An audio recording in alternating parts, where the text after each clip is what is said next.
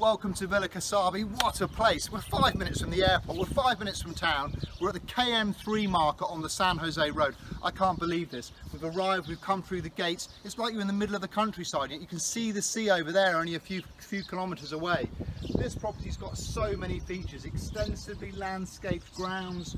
Um, we've got this beautiful decking area around a modern pool with a whirlpool tub here with chill outs. If we look up here, you see the main house. The main house has got three bedrooms. We've got the whole of the top floor allocated to a master suite with two different chambers up there. One's used as a study, one is the bedroom area, big ensuite.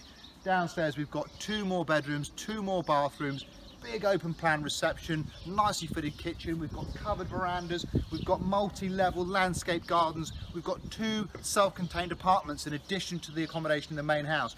Right below us here, there's a one bedroom, there's a kitchen area, there's an outdoor dining area and a barbecue. On the other side of the villa, we've got another smaller, but similarly uh, applicable to a, to a sharing couple, the bedroom area, the mini kitchen area and the bathroom. Here's the full tour. We've just come through the electric gate. There's acres of parking over here. We've got a quadruple carport, keep the cars cool we're ready for when you go out. There's another driveway section, lots of parking. If you follow me up here, Tim, you can see that these are extensively landscaped grounds. A lot of time and investment gone into this. We've come up the steps, we're at the middle section of the garden. You can see how much space the kids can be playing football down here. The swings, lots of flat garden, it's quite unusual.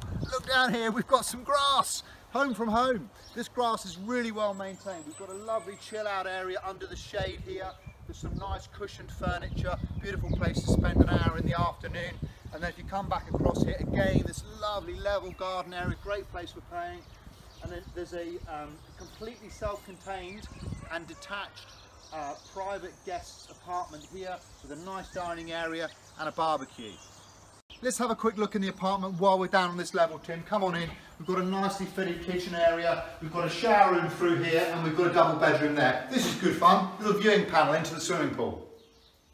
We're back up on the deck where we did the intro. I don't know whether you can see the view, but that's looking back across to the east coast. I love this deck. The pool's a really good size.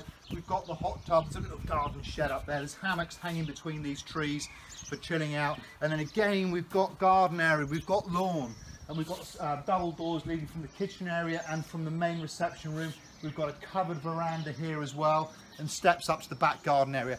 This is a real jewel as well as the outside area. What a lovely big cushioned chill out area.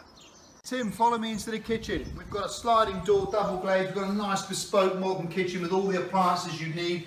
This is a really fashionable house, very tastefully done. We've got a, a nice timber um, breakfast bar here area. We've got the breakfast table. We've got an alternative outdoor breakfast table beyond those sliding doors. And this big archway. As Tim follows me around here, you'll see the big archway gives the open plan feel um, to the reception area. There are double doors off here back out into the garden. A log burner, you're not going to use that in the summer, but it's there. And it's a nice feature. We then come through to a kind of hallway recess here. They've got it used as a kind of drinks area, as a desk area. There's a bit of storage. Come this way, Tim, inner hallway. Off the inner hallway, we've got doors to one bedroom here, another bedroom here, bathroom here, and then this may surprise some people, state-of-the-art lift up to the first floor. Okay, I've just come out of the lift. We're on the first floor. The first floor is the entire master suite. We've got this lovely study area here, sliding doors out onto the terrace, which is private to the master suite. Come on in the bedroom, Tim. This is a good sized double room. We've got a continuation of this wooden flooring. We've got wood beam ceilings.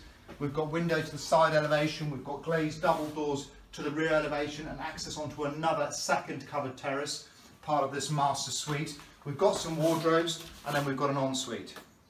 We wouldn't usually do the bathroom, it's such a big room. There's a five-piece suite here. We've got a shower cubicle in the corner, we've got a whirlpool bath, twin wash basins, bidet, WC, lots of room. It's a nice bathroom.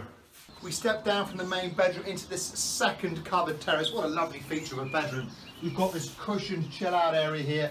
We've got the wooden balustrading overlooking the pool and the decking and obviously with this cracking view down towards the south of the island. Okay, we're up on the first floor still. We've just come out of this covered terrace area. This is the other terrace. There's an external staircase here that leads back down to the garden area. I mean, really, how often are you going to use the lift? I think a lot of people would come up the outdoor staircase, but you have the options. We're at the rear of the house. This is where the second driveway ends. So if you have got staff or you've got visitors, they can park a car up here. We've got the um, technical room here and then the other gateway and door into the second self-contained apartment. Follow me in here, Tim. We'll give you a quick look. So definitely a double bedroom area here. Follow me down the corridor. We've got a, come on Tim, keep up. We've got things to do. We've got a little kitchen area here and we've got a shower room there. Let's sum up Villa Casabe. This is a beautiful, landscaped, very stylish family property. Of course you can come here as sharing groups, but there's something about this, it feels so good for families. The kids have got big large garden areas to play on. It's nice and secure, electric gate, lots of parking, loads of features. It's got the warmth of the wooden decking, super stylish interior. We love this property. You're gonna have a great holiday here.